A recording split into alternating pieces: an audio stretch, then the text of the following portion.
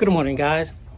So, a couple of weeks ago, I made a video about this property, and I told you guys right there where the city came in and they ripped my customer's property out and to fix some type of sewers system. And it was sitting like that for the longest. So I made a quick YouTube video about the situation.